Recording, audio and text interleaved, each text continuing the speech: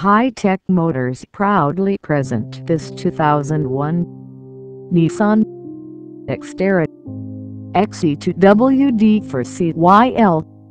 The body style is sport utility vehicle. It has four doors. Transmission is manual. Drivetrain is rear-wheel drive. Exterior color is green. Interior color is gray. It has four-cylinder. Engine size is 2.4 liters L40 HC16V. It has options like passenger airbag cruise control power brake tilt. Please come to visit us at 600 to South Sheridan Tulsa. OK.